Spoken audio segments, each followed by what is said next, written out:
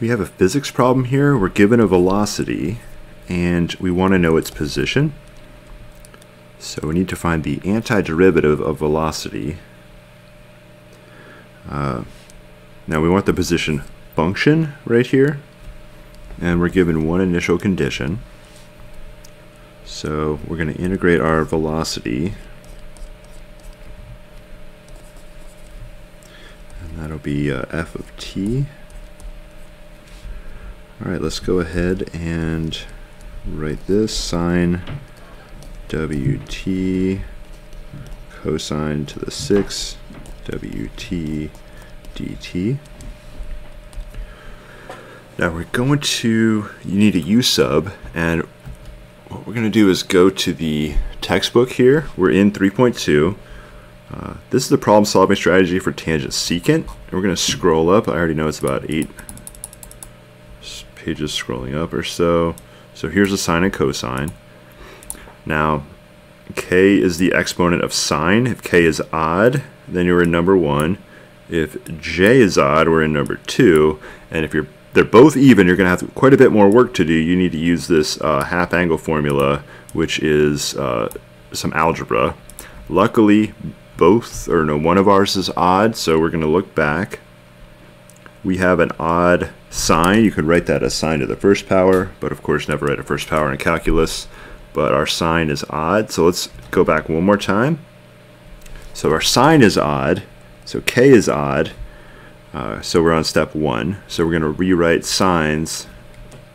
Uh, we're going to pull out an even number of sines, which for us, because k is 1, we actually are not doing any of these pulling out the sines. And we're going to use the identity. Uh, and again, our k is 1, so k minus 1 is 0, so we don't have to do this step. Uh, so we're just going to do a u sub u equals cos x.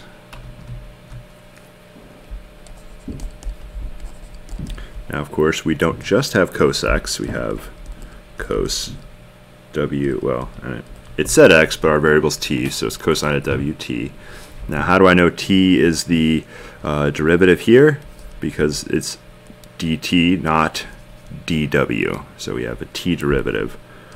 So du equals, cosine is sine, wt, derivative of wt is w, dt.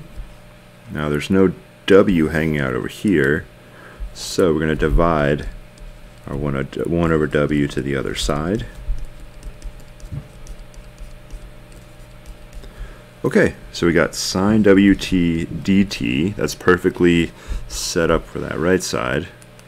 And we're left with the constant out front, 1 over w, integral this cosine wt is u, but of course it's u to the sixth power. du, anti-power rule.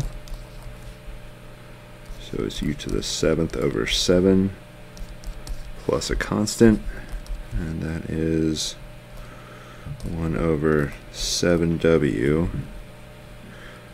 cosine to the seventh I'm unsubstituting here, plus constant, and this is f of t. Now we're going to use the initial condition. Luckily, both the input and output are zero, so this won't be so bad. f of zero, I'm just plugging in. Uh, make sure zero's going in for t, not for w.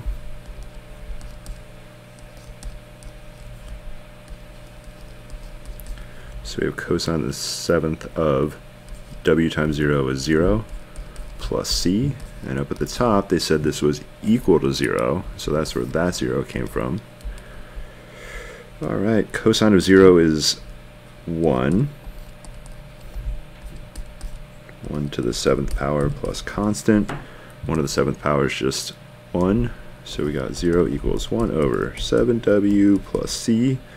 We can subtract 1 over 7w is our constant, and then we're just going to plug that back in.